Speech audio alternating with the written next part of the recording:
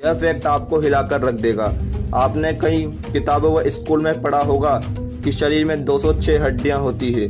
लेकिन क्या हो, अगर आपको पता चले कि शरीर में 206 नहीं 300 हड्डियाँ होती है हाँ यह सच है। जब बच्चे का जन्म होता है, तब उसमें 300 हड्डियाँ होती है। पर 18 साल तक होते होते बच्चे की हड्डियाँ जुड़कर 206 रह जाती है। चाहे तो आप इसे गूगल कर सकते हैं। क्या आपको पता है कि अगर आप बिच्छू पर थोड़ी सी मात्रा में भी शराब या रस डाल दोगे तो वह पागल हो जाएगा और खुद को ही डंक मार लेगा, क्योंकि बिच्छू के डंक में अम्ल होता है और इसकी वजह से उसमें रिएक्शन होती है और शराब व अम्ल से वह पागल हो जाता है।